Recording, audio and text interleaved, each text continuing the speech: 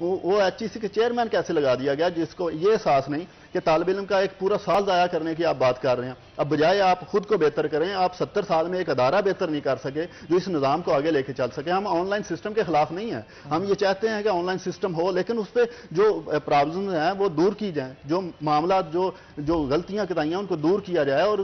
जो तलबा हैं उनको सहूलियात दी जाए उनको प्रॉपर जो है वो गाइड किया जाए तो फिर हम ये चाहते हैं कि ये होना चाहिए लेकिन आप ये भी तो देखें ना कि आपने क्या किया आप अपनी